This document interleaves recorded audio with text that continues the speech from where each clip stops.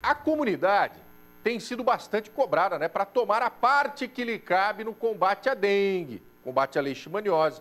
A gente aqui no jornalismo da Record não passa em branco um dia sequer sem falar sobre a dengue, né? E cobramos sempre é, a parcela que nos cabe, né, como cidadãos, de cuidarmos dos terrenos, dos nossos quintais.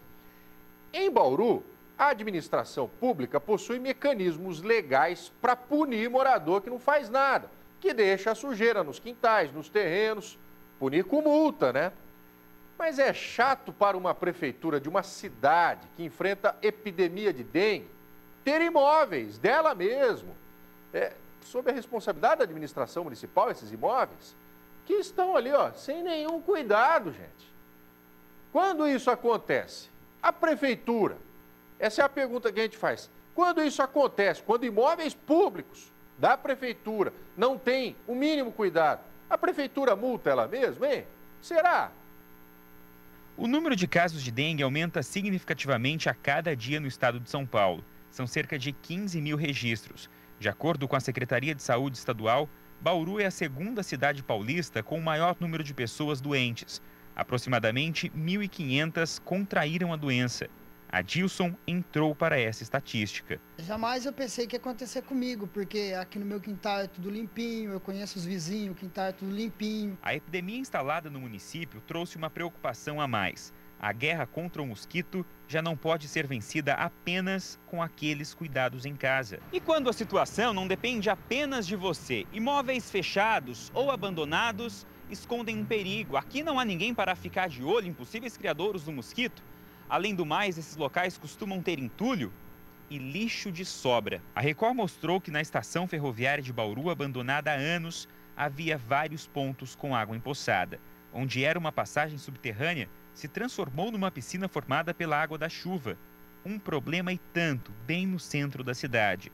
Nos bairros, a situação também exige um olhar mais atento da administração pública. Aqui funcionava a creche Félix Aparecida Costa, na Vila Garcia.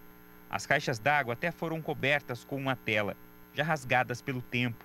Com a falta de manutenção, o local esconde armadilhas, locais que acumulam água. Muitas pessoas estão doentes no bairro. Já deu nessa outra rua aqui duas, em frente à casa ali, duas pessoas. Rua de baixo já deu umas 20 mais ou menos. Todo 20. mundo com dengue. Isso, já deu. Né? Cristiane está preocupada, quer que a prefeitura limpe o local. Isso aqui deve ser um criadouro, né? Porque olha a situação que está. O departamento que cuida dos assuntos de dengue reconhece que os imóveis abandonados são um problema. Mas ainda nesses casos, a população precisa ajudar. Tem que fazer a denúncia aqui na zoonose e nós temos o setor de fiscalização que fará a visita e notificará o proprietário para que ele realmente faça a sua devida regularização. A nossa parte é essa, mostrar os problemas, né? É, e indagar também a respeito de melhorias que têm que ser feitas para evitar que essa epidemia, que já está aí com quase 1.500 casos confirmados em Bauru, aumente ainda mais, né, gente? É, você, morador, não só de Bauru, você, morador de todas as cidades que nos acompanham com o Balanço Geral, pode ficar indignado diante de fatos como esses, né, apresentados por nossa reportagem.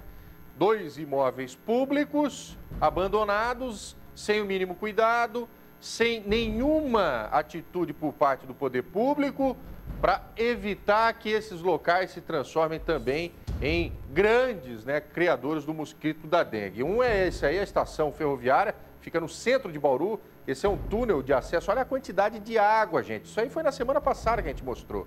Pelo jeito continua assim, né? E aquela creche, que você, essa creche aí que você acabou de ver uma creche também abandonada. As telas que protegiam as caixas d'água, com o tempo, já foram deterioradas.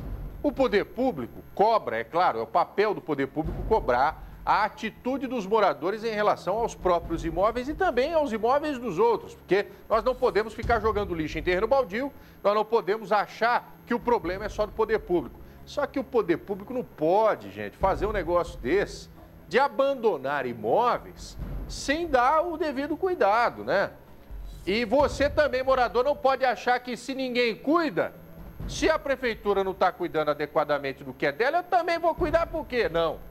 É cada um fazendo a sua parte, a prefeitura vai fazer a dela.